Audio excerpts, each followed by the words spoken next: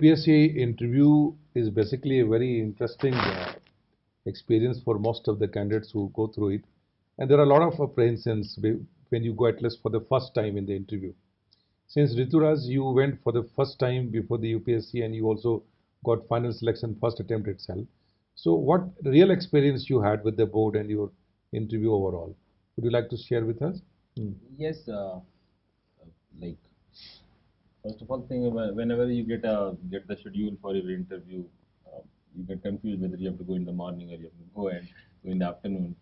So my schedule, mine was in the second batch, so it was in the afternoon. You, were- you went in the afternoon batch. Yes, it was in the afternoon batch.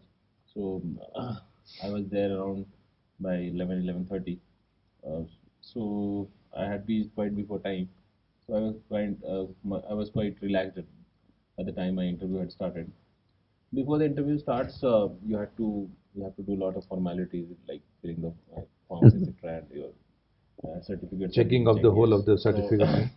this is a kind of uh, good thing because it kind of uh, takes away your thought process from the interview and uh, you're busy doing something else so you kind of uh, your nerves get normalized and uh, yeah you feel quite better during that time and then you are uh, sitting on a table and you are having four, five or six people around the table in the same uh, group that you'll be facing the panel Basically, it is the first time, uh, and, uh, it is the finally when the UPSC checks the original certificates Yes, also. yes, yes. So that is the time uh, when all the all the original certificates, etc., etc., everything are being checked there, and uh, that is also the time when you interact with uh, your panel uh, people who will be facing the same panel. Uh, so it is kind of uh, kind of de-stressing. and exercise. before that, you don't know about who is your uh, chairman. Yes, uh, so just uh, when at till that point of time you don't know whom you're going to face, and but yeah, you do come to know the order of uh, who is going first, second, or third. So I was the first one who was supposed to go there. So I was kind of happy that. but were you told? Were you told who will be your chairman of the board? No, no, it was not told that uh, who will be my chair. Till the time you entered the board, you were not knowing? I just knew my sequence that I will be the first one who will be facing. And then uh, we were then uh, in a group of two or three, we were taken to another room where we were to sit again in a round table, and uh, we were asked to wait. And then there we were we handed out our form for uh, our medical examination for that was scheduled next day. So that then uh, that is another point of time where again you get some point of relaxation and you can chat, and then you have a peon coming up to you and then he'll call a parent uh, to take you near your board. So now the is- question that- here yeah. is one question for the first timers who would go. yes Um, uh, because you had to show your certificates and then you had to also got some paper work completely there. yes yes. But before you were taken to the board and you had to wait, that Yes. what is your sequence? Were you told that who whose board you are going to be No, interviewed uh, by? it's completely anonymous. Uh, you are not told anything about. In fact, uh, nobody knows about whom where you are being taken except the peon who comes and takes you to that that particular But after board. you enter the board, then you come to know who is your yes, chairman. Point, as soon as you, uh, yeah, there is a um, name written there. Name plate outside, plate, right. So you can make out that who is the person inside. Hmm. So it's just a minute before that you come to know that this is the board that I'm going to face. Okay. So yeah, uh, it's better that uh, like since uh, I saw that then saw the name, uh, I was also aware about who are the chairpersons who are going to uh, like uh, who are going to take the interview beforehand. Who was the chairman of your board? my chairman was uh, Mr. David. Mr. David's board was that, right? So what was your whole psychology before you went to the interview? Yes, After uh, completing your formalities, then Like, uh, uh, you were told that your board is Mr. David's board, right? Uh, like uh, when I came to know that uh, he's my board chairman, so I just had a minute before I could think about him. I, I had already read in the list of UPSC that he is that person and knew something about him. I tried to recall what his, his background and what his personality like. So I was better it myself about his life. And uh, rest, uh, you do not get too much time to think about the board, and then you have to face it. The moment you came to know that who is my chairman of the board, Yeah. then you are inside the board there, right? Right. So what was your psychology when you entered? Uh, uh, like uh, it's like a kind of different ambience completely, and there are five people sitting around, uh, different chapters, very silent environment. And as soon as you enter, uh, the first thing is uh, that keeps telling you you have to them, and he- she should be having an eye contact with you, and you have to wish him uh, and the rest of everybody. And we have to make a good impression in the very first uh, time. So my goal too, I, I should be I should be able to measure nicely and uh, be seated there properly. Okay, great. So what, what kind of psychology you had when you went? Were you very confident? You had some fear? Uh, you, you were just uh, in normal. What exactly was the situation? Uh, yeah, actually, I was uh, kind of quite normal. I was not uh, uh, not anxious. But yes, little little fear was there that something doesn't go wrong, and you do not make some stupid out of yourself by doing something and the very first very first side of yours that you do something uh, you're not able to sit properly. that makes a really fun thing. Uh, best everything, uh, I, I, I didn't think too much about what will happen after an interview or I am not. You found the board friendly with you when you entered? Not, not really. It was not a very friendly. Uh, not really. It's like uh, it started from a negative connotation that you in the job and, when there is so much of uh, employment scarcity in India, how could you afford to do it? Come from middle class background. So yes, uh, I was able to handle it and started deviating to different. And unfortunately, I, unfortunately, unfortunately, I uttered a word called citizen. You were the word citizen. yes. and the rest of my interview was citizen. Okay, well, just, just they got. How did this word come there? Like it was um, uh, what do you want to be in, in your life? I was, I was like trying to be simplistic like that. I want like yes, as of now I want to be an IAS officer. Uh, otherwise uh, I would uh, intend to be a good the- yeah, and uh, then it was like uh, tell me if you think about what, what is the characteristic of good citizen?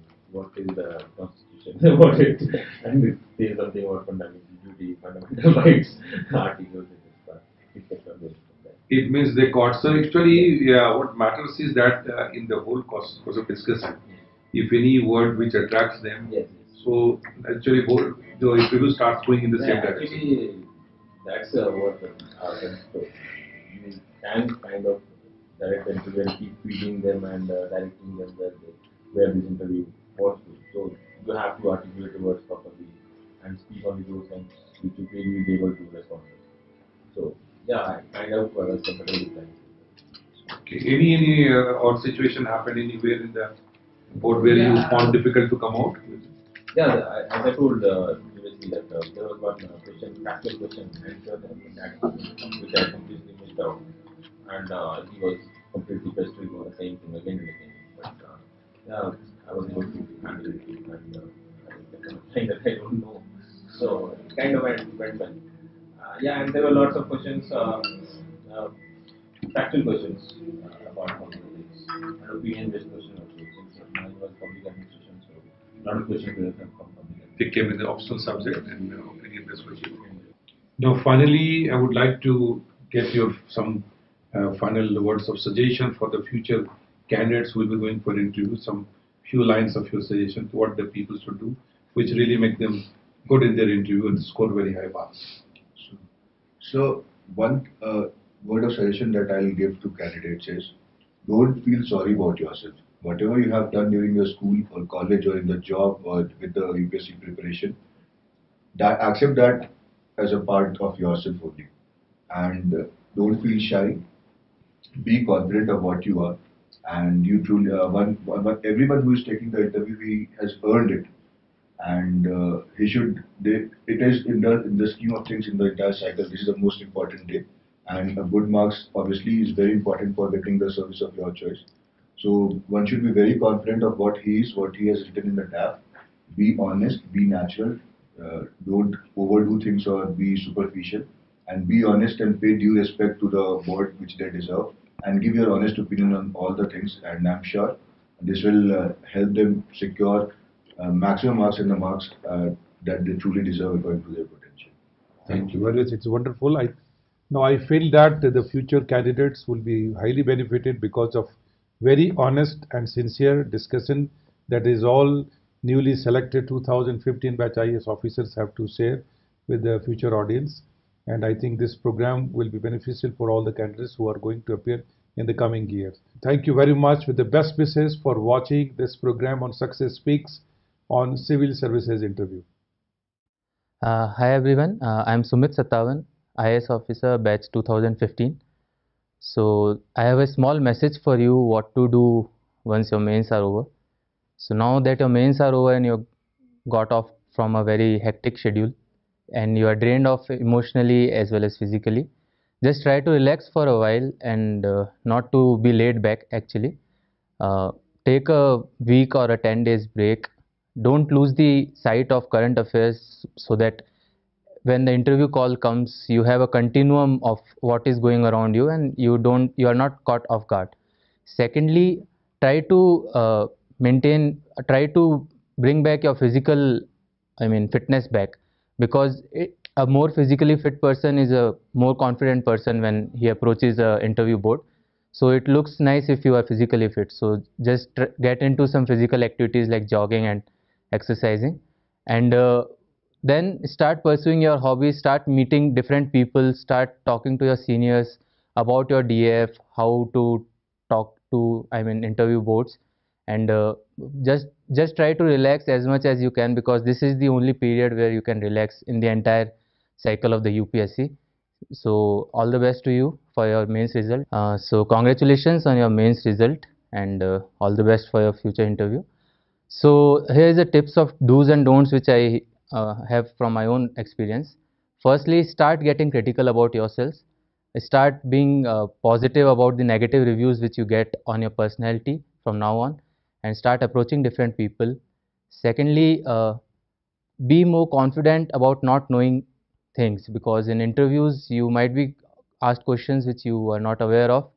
So, like just saying, sorry, sir, I cannot recall, sorry, sir, I don't know, in a positive mindset because if you and just be cautious that your smile doesn't convert into a stupid grin. So that that needs to be taken care of. Other than that uh, just be confident of your knowledge level because you have made so far and that cannot be without adequate level of knowledge. So just be confident be yourselves be natural and i am pretty sure that you'll make through it. Congratulations on your pursuit for upsc civil service exam. It's a great opportunity ahead and you have taken a path which is difficult and it will reflect upon your personality hard enough. All the best for your prelims because this is where this is the most objective aspect of the civil services. Don't be uh, don't lack confidence in your approach. Just be positive and don't uh, like try to guess don't rely on your guesswork more. Just take intelligent guesses and don't have a prejudiced mind of how many questions you have to attempt this time because that varies the cutoff varies from batch to batch from the paper to paper. So just just try to be in your comfort zone and hope it all works out well. I'll give you an insight about the importance of mock interviews here. Mock interviews are pretty important so that you get the other side perspective of your own personality because that is what will be judged and not your own perspective on your own personality. So mock interviews by experts help you a lot in covering that aspect I have attended uh, Chanakya's mock interview and I'm pretty sure that and from my own experience I can guarantee you that the mock interviews are conducted in a professional manner by a very credible set of experts. And the best part about the mock interview is they don't like hang you around the mock interview. They'll give you the precise timing and at best five five minutes before you'll be reporting and they they try to make you convenient. And then they'll also give you the cd just after the interview is over and uh, the feedback that comes is genuine and uh, so Chanakya's mock interview are the professionally organized mock interviews and I think you can rely on them and trust on them. All the best for your interview. Thank you. Uh, I am Harshal Pancholi, uh, qualified civil services in 2015. Uh, I am currently an IAS and I would like to give a few important tips for to all the candidates who are going to appear for interview very soon. First and foremost requirement for all of you is to de-stress yourself which which the stresses which you have generated during the mains preparation. And the one of the best way of doing that is develop your hobbies which you have filled in your detailed application form. And while doing that you must also keep that in mind that uh, one uh, very soon your results will be out and you will not get enough time for the preparation of your interview so focus on your hobbies as well as uh, keep continuing uh, with your uh, current affairs studies as well as some general preparation of your optional as well as general studies. Don't just cut off yourself from studies. This is the one of the major mistakes the, the civil service aspirants do. Just because they think that mains is over now have ample amount of time to do anything. But time is always less when you are preparing for civil services. And once you get uh, get to know your result and you you are basically appearing for only interview which is the D day on which on the basis of which your whole career depends. So what you have to do is uh, mm, focus on your detailed application form without giving emphasis on the minute details. Just cover the broad areas of your preparation. Keep yourself focused and uh, inculcate a value in yourself that you are going to be a civil servant very soon that this confidence is very essential for you to perform well in your interview uh, especially with so many information available around the uh, in the whole UPSC mar- mar- market itself. What happens is that with so much of information available, you uh, become so much information centric that you uh, forget the whole purpose of the uh, UPSC exam. What you need to do revisit the uh, guidelines provided by the UPSC notification itself. That way, you will be able to identify your weaknesses, and in the end, uh, you will be able to focus more on the what is essential for the interview because there is a huge difference between how to prepare for mains exam and how to prepare for the interview and in the end even if you don't qualify for the interview you have a uh, you have learned so many things just by appearing in the interview uh, so that for the next year you can look something forward you learn from your mis- mistakes i have appeared three times in the civil services and from every attempt i have learned many things which help me in gaining confidence and i am I have qualified for the IAS, which is ultimate aim of the most of you. So, for example, last year the result was announced on 4th of July. If I could not have qualified, I had only 50 days to appear for prelims again. You just have to keep yourself motivated and have patience to come back to the studies. Take a one week or two week leave and come come back with a strong force and with strong dedication that this year you will qualify. And this uh, believe in yourself that you will qualify the ultimate thing which will help you in succeed, uh, getting success in this exam. And with uh, all these thoughts um, I will just tell you one thing that just be honest with, honest with your preparation. If you will be honest with your preparation you will never regret in your life even if you will not qualify it will make you a better person and to qualify a good exam you need to be a better person first. And with this i wish you all the best for the civil services 2015 as uh, prelims are approaching you are getting uh, your nerves very tense these days. And uh, to calm your nerves i will give you a few simple messages that the last few days are the days which will decide whether you will qualify or not. You are studying from the last one uh, one year at least or two years or maybe more than that. But all it comes down to what you do in your last few days. Now CSAT being qualified it's not really important for you to give too much time to CSAT just uh, do one or two practice papers but it all come to your general studies and as it is more subjective as compared to CSAT qu- uh, qualifying civil uh, prelims is also becoming more uh, subjective.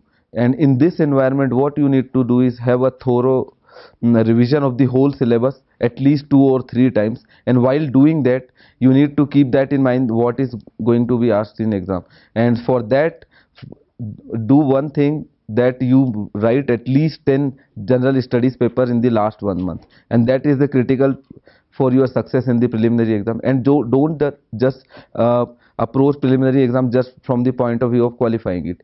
Prelim is the first stage of your civil service preparation. And in the end it will reflect in your mains preparation as well as well as your interview preparation.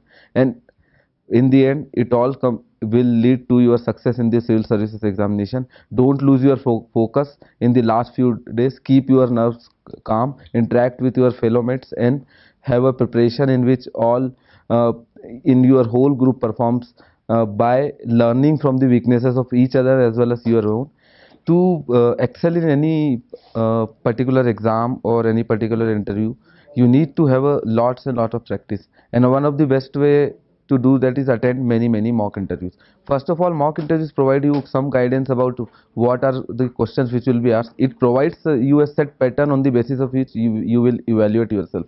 And after that what will happen is that you will constantly learn and with different experiences provided by the different mock interviews you will be able to inculcate basic etiquettes which is required in any interview process and uh, chanakya is one of the excellent institute through which you should attend your mock interviews it will help you in uh, getting a lot of experience and keeping yourself calm during the interview, whole interview process and with this i wish you all the best for the interview of this year I am Basirul Haq, IAS 2015 batch. I am from Jammu and Kashmir. Am, I am also going to Jammu and Kashmir cadre. So after mains, uh, the candidates uh, must follow what is what he has uh, wrote in the DA. Uh, he must work on that, his hobbies or her hobbies, about his subject or her subject, uh, about uh, main subject, about his basic qualification, about his state, city or hometown, and uh, many more uh, like uh, you brush up with current affairs. You must be very aware aware about that that what is going around you, uh, but it must be according to your syllabus. And uh, number two, a candidate must focus uh, more on his or her biodata and after that he must have an opinion about the topics he must have a clarity of thought uh, he must have uh, some uh, good opinion for example if you don't know about any subject he must uh, build an opinion uh, by means of uh, internet uh, by means of good books and uh, after that he must be confident and if if a person or a candidate uh, can do all these things he will be confident in the interview देखो interview का result आते ही अ, सबसे पहले तो ये focus होना चाहिए कि what he prepared uh, after uh, writing his mains and uh, after that he must go through his detailed application form and must prepare according to that. And what he um, what he prepare simply focus on that. What he prepared um, uh, before the result. And he simply focus on that and be confident. And if he is confident he will perform well. But uh, there is no need to waste any time after mains result uh, be precise uh, what you write uh, or what you uh, simply read. Be focused on that and revise as many time as you can and solve as many questions as you can because questions can give you the clarity of thoughts and that will help you a lot in preliminary examination particularly this uh, in uh, this uh, era of negative marking. Best of luck for those candidates who have cleared the mains and going to appear in the interview of 2016 and uh, also best of luck for those candidates who are going to appear in 2016 preliminary exam. Hi, I am Rituraj. I am IIS from 2015 batch. My message uh, for you people, uh, since the mains has ended now and uh, you people uh, are waiting for, waiting for your results, I would advise you people to uh, not completely relax, but uh, take forward uh, your little steps. But yes, do relax. But uh, yeah, do not forget to uh, be updated with the current affairs. So it would be nice uh, for you people to be updated with Hindu and also take up one extra newspaper as a daily daily curriculum and uh, relax a, a bit more and uh, try not to take things too heavy. As your results for your mains has come out and you people are waiting for interview, I would advise you people uh, to take this period as uh, as uh, uh, quite important time where most of you would be facing uh, interview in different phases and few of you would be facing interview during the first phase. Uh, I would like to tell you that uh, please uh, pay due diligence to your DAF and try to study more about yourself, your state, your district and uh, try to attend as many mock interviews as much possible and uh, keep your confidence level high. I would uh, wish you all the best for your prelims 2016. Uh, I would advise you to go through uh, uh, yeah, the entire syllabus once, focus on minute details, go through some uh, good test series, revise as much as possible, and yes, have self confidence. Try to evaluate yourself well before at least 10 15 days before the examination comes forth, and yes, and not to rush for uh, silly things during the last hour of the exam because uh, this is uh, quite a long process exam, long proper process of preparation, and uh, what you have not prepared till the last end, you should not worry about it. So better focus on your strengths and uh, be positive. Well, uh, Chanakya's mock interview is a wonderful simulation of the original interview process that actually takes place and uh, I would advise everybody to take place to take uh, to go through this interview as I myself had gone through and I had a real good experience. Uh, it provides you with uh, some good uh, material of your own feedback and they also provide you with CDs so that you can also evaluate yourself. Uh, it would be a really good feedback thing and yes the panel is really good and um, going through this will be a really good experience and will definitely help you in your real interview experience. Well, uh, Mishra sir is a really wonderful person and I think uh, the motivation uh, that he provides to students and the guidance that he gives is uh, really beneficial for uh, not only for the examination uh, but for your entire life and it's really good to be in touch with him. Don't forget to like, share and subscribe to our channel and press the bell icon to never miss an update.